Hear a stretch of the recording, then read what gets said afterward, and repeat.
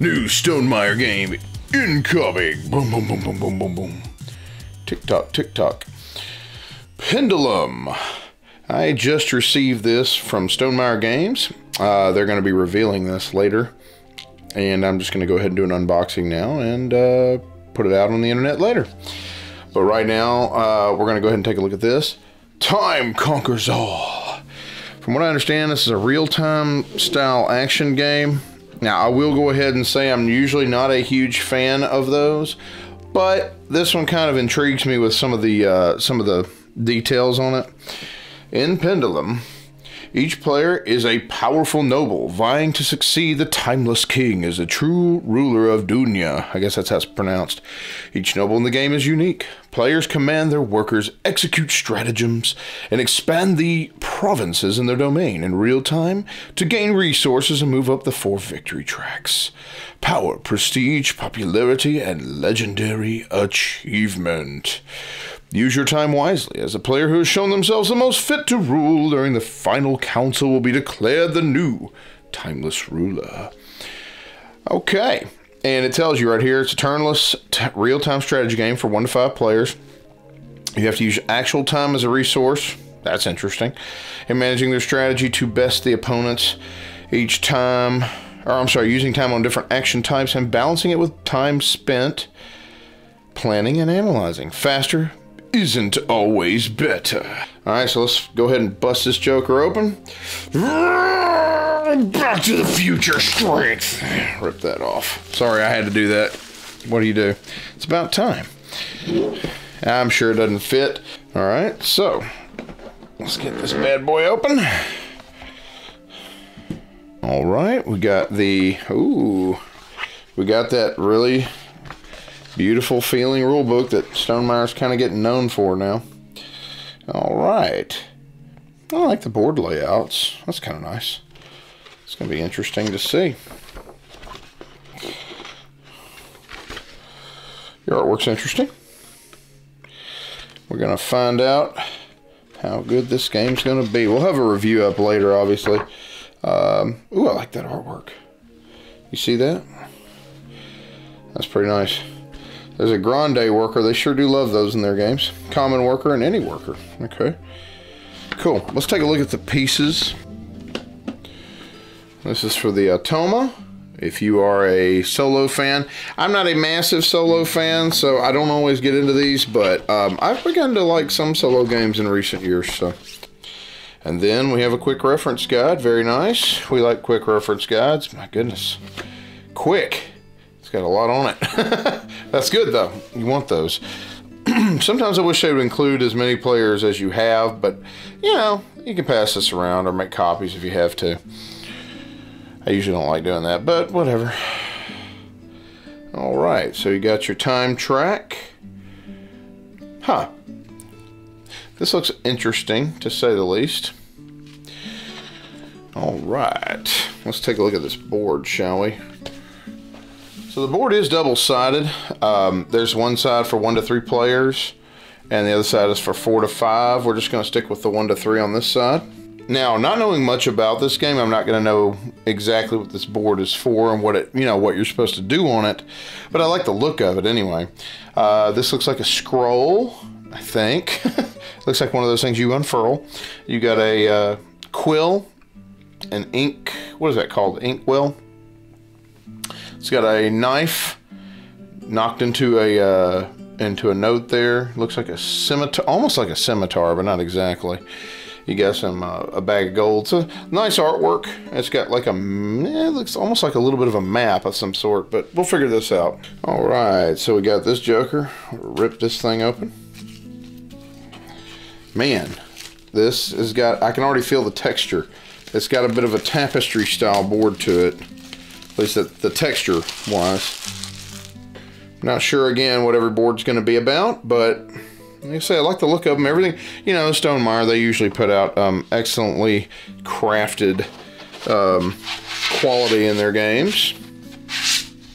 And take a look. Hear that? There's that, that texturing right there. This is for the Atoma. Or Atoma. I guess that's how you say it. So there's that. Then it looks like player boards. Um, I like that artwork. Is that the Timeless King? I could no Gambal the Briar, uh, the Briber. Okay, or Gumball. Let's see. Gumball the Insurgent. Interesting. So they have uh, double sided for each. I wonder if they uh, become evil or something. Bulk the Champion. He looks like a angry bull with a lion's head almost. Bulk the Warmonger. I really like the design on that, that graphic design. I'm gonna butcher this name. Licinia, the Implacable. Okay, let's see what she turns into. Licinia, the Alchemist. Um, and you know what? I wonder if I'm trying to see if there's any difference in powers here, or if there are powers that I can. Okay, yeah. You look at the bottom section here, you see that there's differences in whatever their, I guess what their powers are. I'm not quite sure, but that's interesting. You got Drinkia, the Insidious. Um, yeah, I don't want to go up near that dude. He looks evil. Uh, either way. And here's, I guess, his powers, what he's able to do. Drinkia, the Tyrant. Ooh, I like that. He's got a rod of iron. Mesawat, the Justicar. Justicar, I don't know. We'll figure it out later.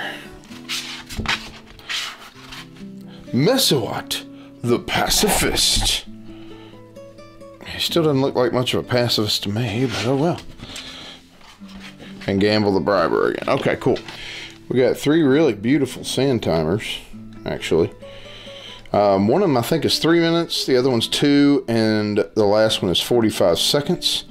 I'm not sure which is which, but I do know I remember reading that. So you got those three timers to show that you have time you got to deal with. Huh. Okay, so I was expecting wood, but these are actual plastic pieces. I guess it's your grande workers.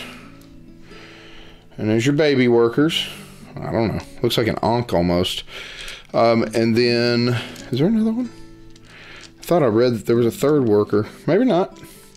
Well, these are basically what your workers are. You got babies and grandes. I'm saying babies, but you know what I mean. That's cool.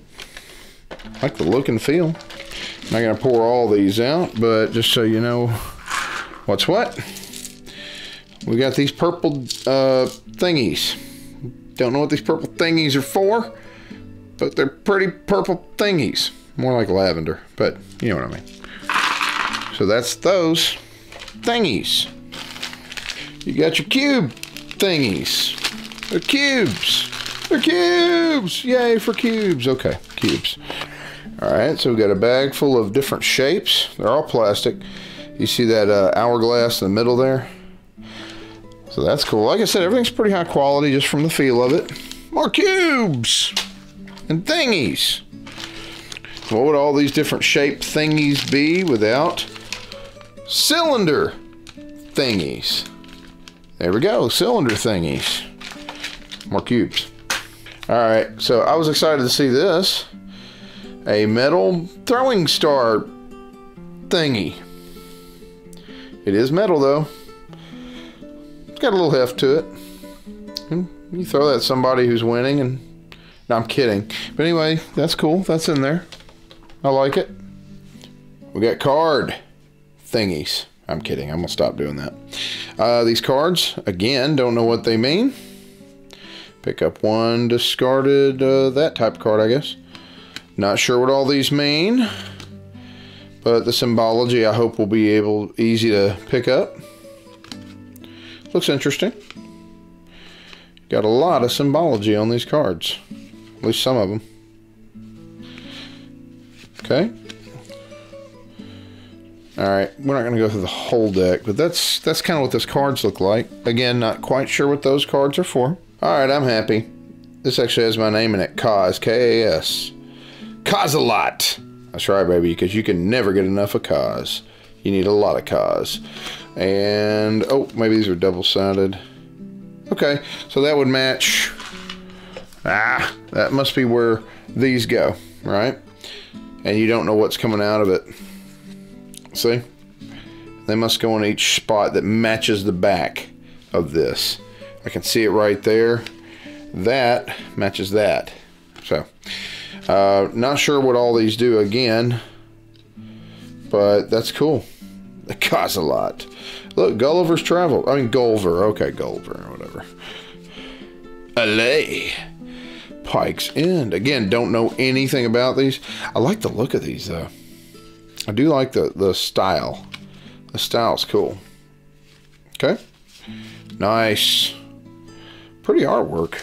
Again, I'll tell you, I'm not a massive fan of every single one of Stonemaier's games. I like a lot of them.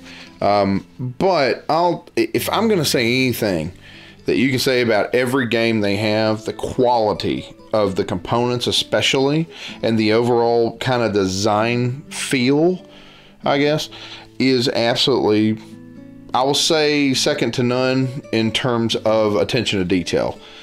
That's what I would say. I mean, that that's how a lot of them feel, you know. Uh, this deck, it almost looks like an Atoma deck, but I could be wrong.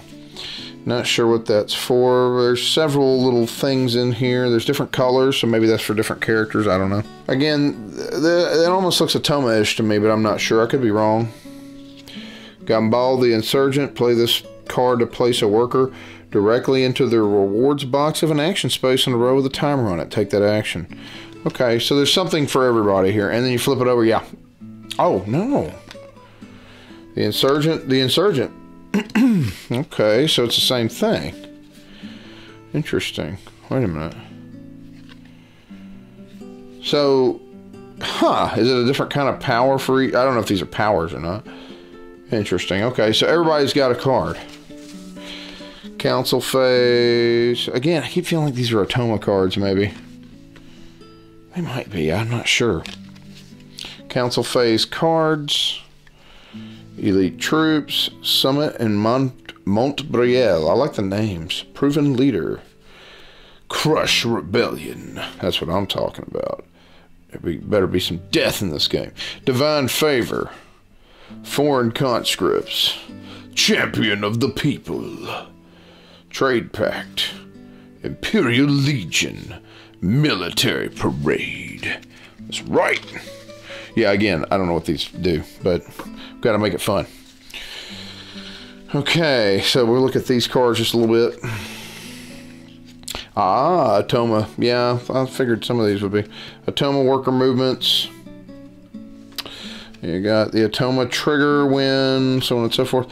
The purple if possible, if not flip green. Yeah, these are definitely an Atoma deck. Okay. Uh, so, yep, that is pretty much the unboxing of Pendulum. Time conquers all. Uh, this will be coming out when uh, Games decides to make a statement about it. And it should be in a, over a month, I think, from now. Anyway, thank you so much for watching the uh, unboxing from the Dice Odyssey. We will also have a review up at some point after we've played it enough. Thank you again. You have a blessed day and game away.